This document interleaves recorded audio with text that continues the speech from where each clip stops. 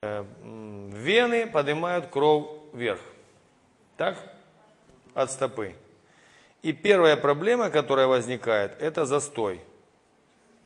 Повышение давления в венах. Застой в ногах. Вместе с этим плюс кровь в венах сгущается. Сгущение крови. Вот так бывает у всех людей. Как люди понимают, что это получилось, вот давление в венах повысилось? Как вы понимаете? Да не, ноги ноют в конце дня. Ощущение, как будто поналивались свинцом. Смотрю, не поналивались, а ощущение, как будто поналивались. Кто-то ездил в автобусе часов там 15-20. Как вы в конце дороги себя ощущаете? Распухают. Уже те ноги, куда бы ты напереди, напереди сидящего уже закинул, да? Такое, ну, желание. А к концу поездки просто ужас ноги, отечные. К концу дня, когда ты работаешь стоя или сидя, давление в венах повышается из-за того, что венам постоянно надо кровь поднимать вверх. Это первая стадия. Если на этой стадии вы ничего не сделали, развивается вторая стадия. Какая? Варикоз, называется варикоз. Это жучки, паучки и змеи. Ну, вены имею в виду, как жучки, как паучки и как змеи. Вот это вот вторая стадия. Суть та же, но только вены раздуваются и становятся видимыми. Видимыми. Вот эти две стадии, мы о них скажем, что они лечатся определенным образом. Дальше подход к лечению поменяется. Когда болезнь развивается дальше, то подход к лечению поменяется в вен. Что именно? На вот этих расширенных венах может появиться две проблемы. Первая – это воспаление самой стенки вены. Называется флебит. Флебит. Второе – на воспаленной вене появляется тромб. Называется тромбофлебит. И третье, вот когда после этого всего, еще могут появляться на коже язвы. Язвы. Язвы появляются на коже. Видели язвы? Коричневые ноги, вот эта кожа такая, как железная, с ранением, ну, такая легко ранимая, с нее сочится, потом язвы. Ну, большие язвы кто-нибудь видел? Хоть на фотографии видели? Фотографию видели? А вживую видели?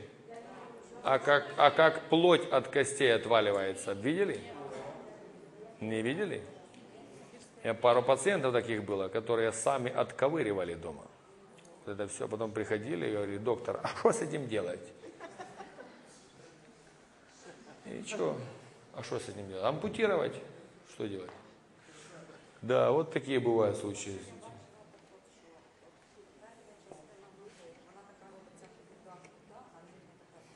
Нижня товста, товста, чорна. Отож, ото тромб перестав, прекратил крово, кровоток. Что делать? Что в принципе делает? Вот, что в принципе делают в медицине? С этой стадией что делают? Разжижают кровь аспирином, потому что сгустилась. Когда отек или варикоз, добавляют препараты для тонуса вен, типа детролекс, или циклотрифорте, или флебодия, или старый троксивазин. Детролекс, один запишите, других не надо. Детролекс, вот здесь детролекс. Детролекс стоит где-то 300 гривен в месяц.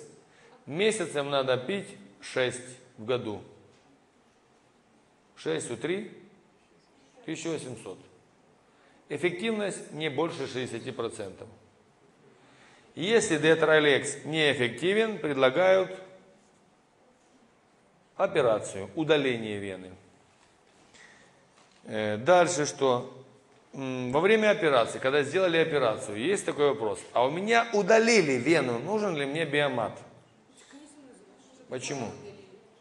М? Ага, вот близко уже к ответу, да? Слушала тоже?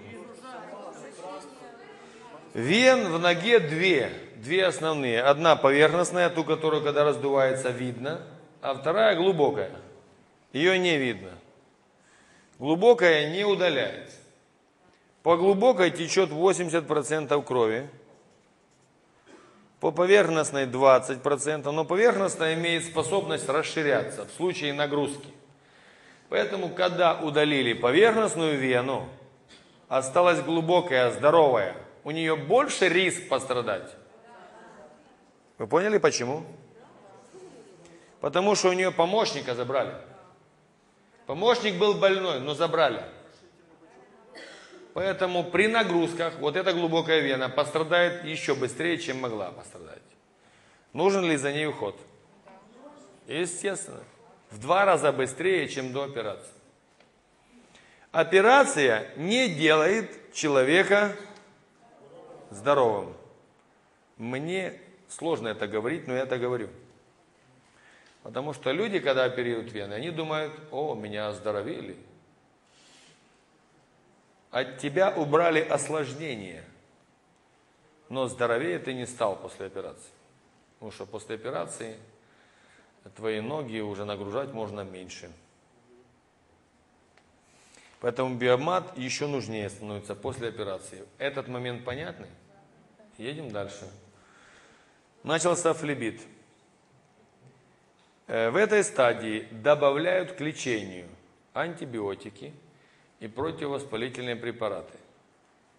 Антибиотики, противовоспалительные. И те, и другие. Противовоспалительные это типа диклофенак, аспирин добавляют.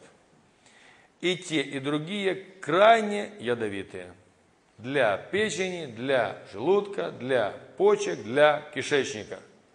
То есть лечим ноги, все остальное убиваем.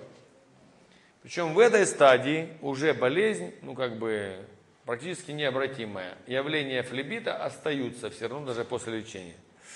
Когда появляется тромбофлебит, то к лечению добавляют при остром тромбофлебите еще очень дорогие препараты для съедания тромба, лизирующие тромб. Добавляют препарат для постоянного разжижения, вернее, во время обострения назначают мощные разжижающие средства, типа гепарин, фраксипарин.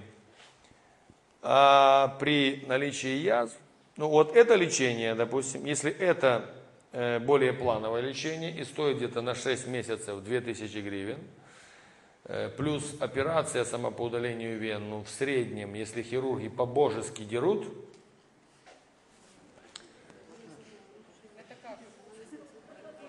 Я просто сказал, смотрю, сколько из вас спит.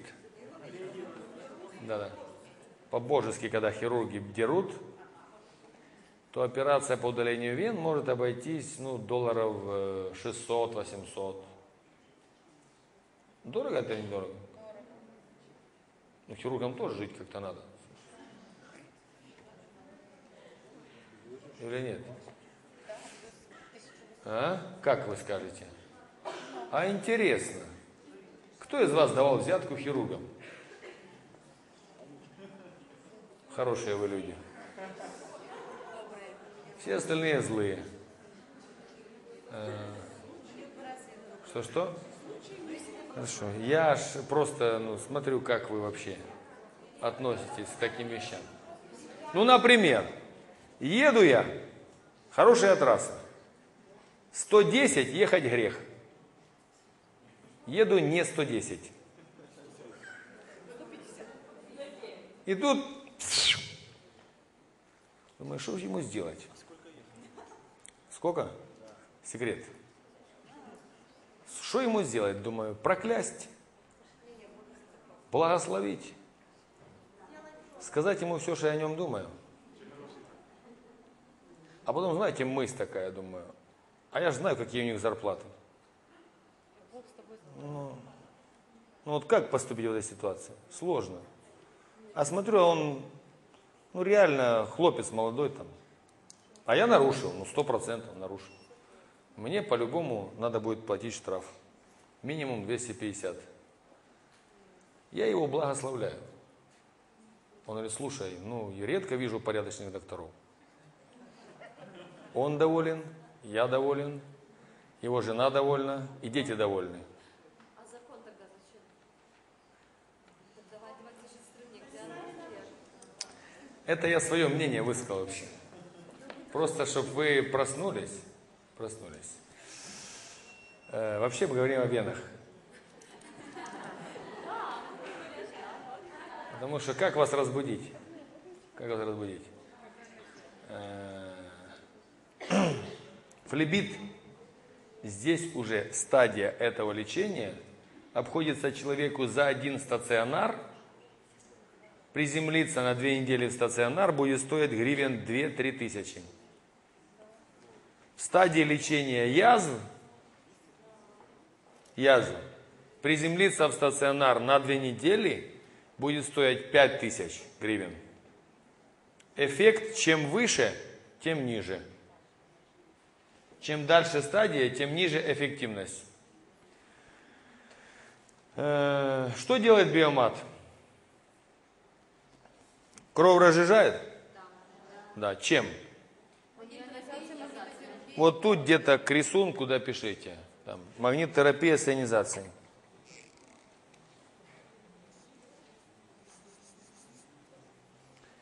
Давление снижается в венах? Чем? Нет. Нет. Холод. И боль. Варикоз то же самое. Холод, боль и еще есть тут прижигание. Прижигание. В этой стадии можно и прижигание делать даже на вены. Даже на вены. В стадии флебита, что нужно еще добавить, кроме того, что мы дали здесь? Для того, чтобы убрать вот это воспаление, нужно питание. Питание у нас есть на биомате? Как улучшается питание на биомате в стопах? При помощи... Как? Прогревание. Самый первый фактор, который мы с вами рассматривали. Прогревание. Тепло улучшает питание. Тепло улучшает питание. Тепло. Для того, чтобы скушать э, тромб, что нам еще нужно? Лейкоциты, плюс лейкоциты, пишу сюда еще. Для того, чтобы э, восстановить вот нарушенные ткани, то что нужно? Питание обратно, обратно тепло. Плюс тепло.